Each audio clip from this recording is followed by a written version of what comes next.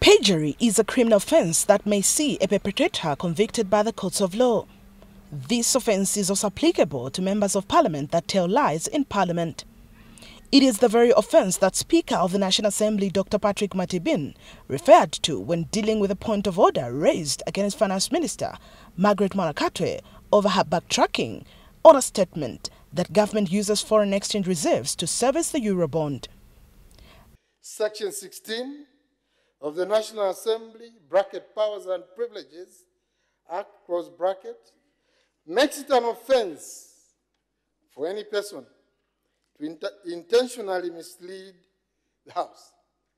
It states as follows, and I quote, any person who before the Assembly or a committee intentionally gives a false answer to any question material to the subject of inquiry which may be put to him during the course of any examination shall be guilty of an offense against section 104 of the Penal Code.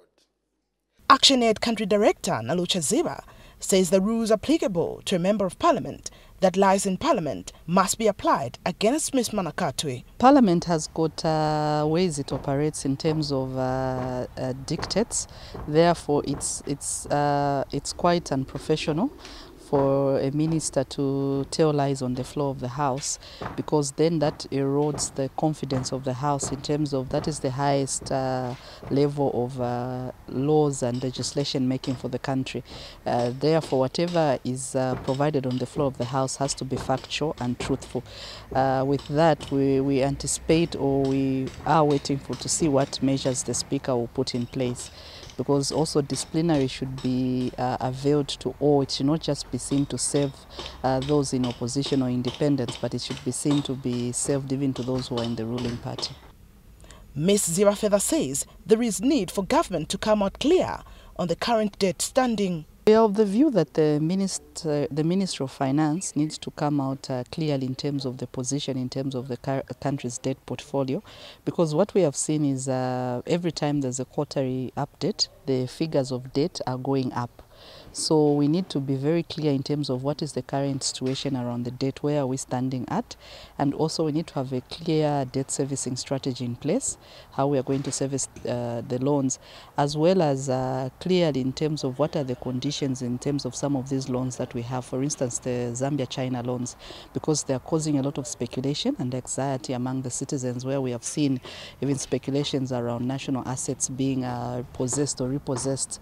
She adds that Debt servicing is partly contributing to dwindling service delivery. It is about uh, 4.3 billion, sorry, and 1.5 billion was meant towards debt servicing, and 1.1 billion was meant towards uh, other uh, social service delivery.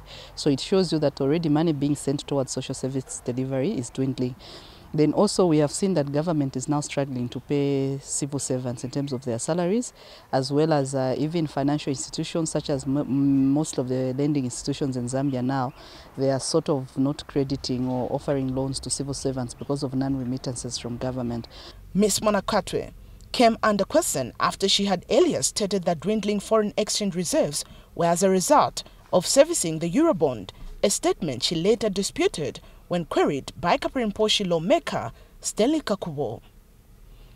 Whilst Dr. Matibini has ruled that Ms. Mwanakatwe misled the House, no punitive action has been taken. The Speaker himself referred to the law and clearly stated that a Member of Parliament who lies in Parliament is answerable to not only parliamentary rules but also the Penal Code of the Laws of Zambia under a criminal offence of perjury. Will Mwanakatwe therefore be punished for lying before Parliament? Mwape Kumwenda, Prime TV News, Lusaka.